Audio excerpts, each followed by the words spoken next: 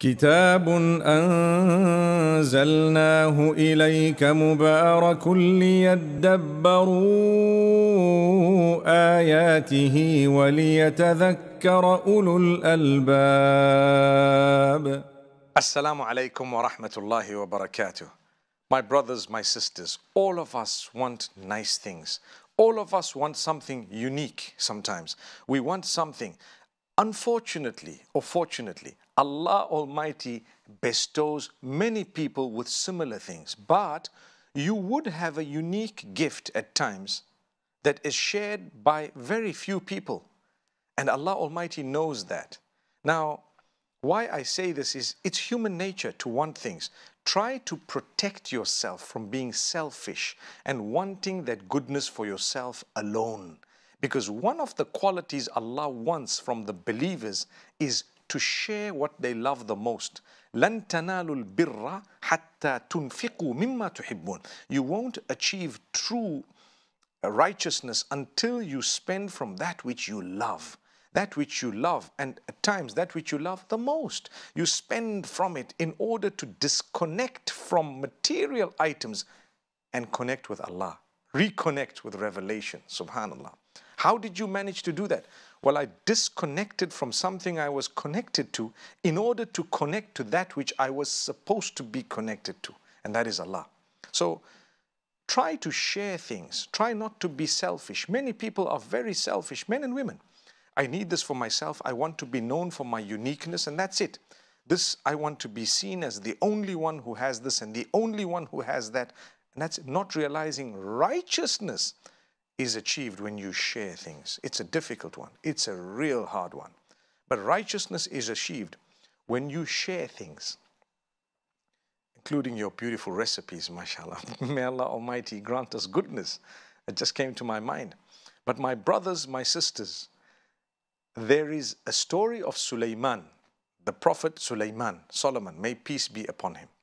He used to make some amazing supplications. And he asked Allah one day, he says, Rabbi habli, Rabbi ghfirli, oh Allah forgive me. Oh Allah forgive my shortcomings. And from that we learn, every time you want to connect your supplication to Allah and plug it in, you start off by seeking forgiveness, by sending blessings and salutations of Prophet Muhammad sallallahu alaihi wasallam, seeking forgiveness, praising Allah, and then you ask for your thing. What would you like?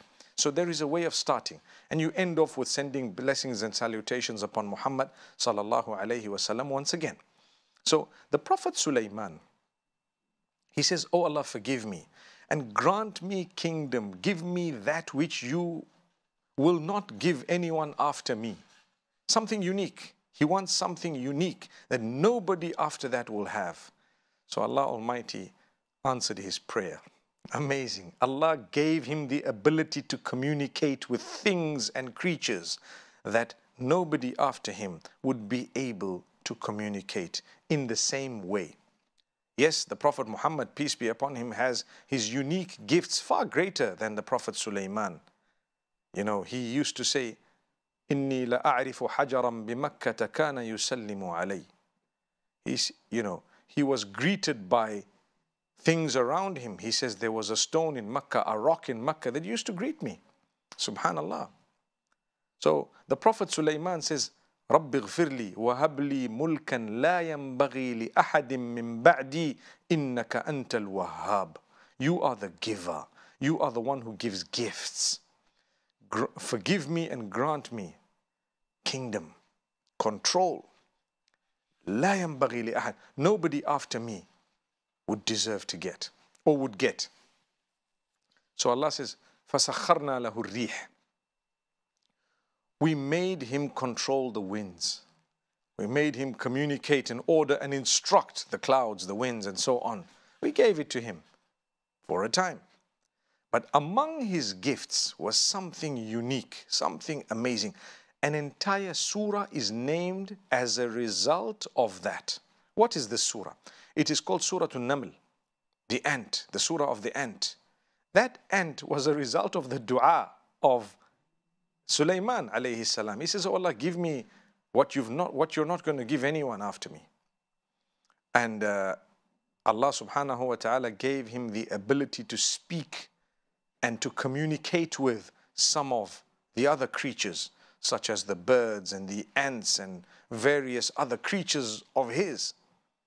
So one day Sulaiman alayhi salam was moving with his army and he got to the valley of the ants.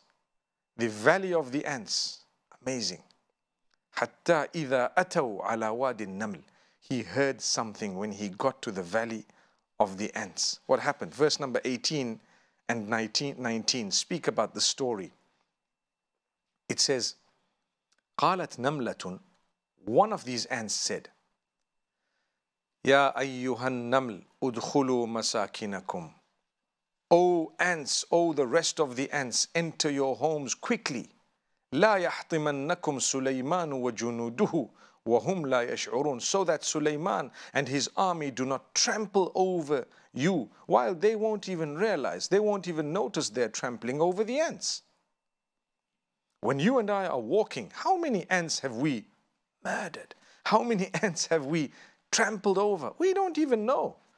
Allah forgives, Allah will excuse, Allah will not hold that against you because you walked, you didn't even know what was happening. It's okay. And an ant, after all, it's permissible to get rid of these insects and that which is irritating to humankind or harmful in any way.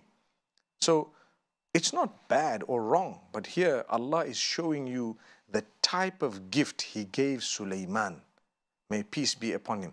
And if He gave him such a sophisticated gift, that was a prophet. We're not prophets, but He will give us gifts, perhaps less sophisticated but Allah grants us. And we need to recognize the gift of Allah. So the point here is Sulaiman heard these ants. When he heard the one ant tell the others, and he heard these ants rushing into their homes, do you know what? He thanked Allah. فَتَبَسَّمَ ضَاحِكًا مِنْ قَوْلِهَا He smiled, he broke into a smile as laughter to what was being said from the statement of this ant, waqal. And he made such a beautiful statement that we should all be calling out to Allah with. What did he say? On the one hand, he had already prayed to Allah to grant him from the goodness. And on the other hand, here is him thanking Allah. قال ربي He said, Oh my Lord, oh my Lord, oh my Lord. Subhanallah. أوزعني أن أشكر نعمتك. Grant me the ability to thank you for the gifts you bestowed upon me. Your ni'mah. Oh Allah, grant me the ability to thank you for the gifts you have bestowed upon me. That is Him speaking. ربي أوزعني أن أشكر نعمتك التي أنعمت علي that which you have bestowed upon me and upon my parents. Who was his father? His father was the, was the prophet David, Dawood alayhi salam, may peace be upon him. So he says, Oh Allah, give me the ability to be thankful. Imagine you're asking Allah, you're not saying, Thank you, Allah.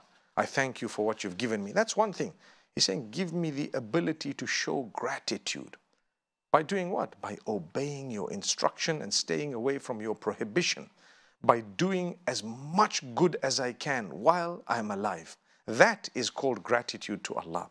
By rendering as much worship as I can, by being kind to the rest of your creatures, by being just and fair, by standing up for what is upright, and by helping those who are downtrodden and oppressed, all that is part of showing gratitude to Allah. So Sulaiman alayhi salam says, Give me the ability to be thankful to you for what you bestowed upon me and my father, my parents.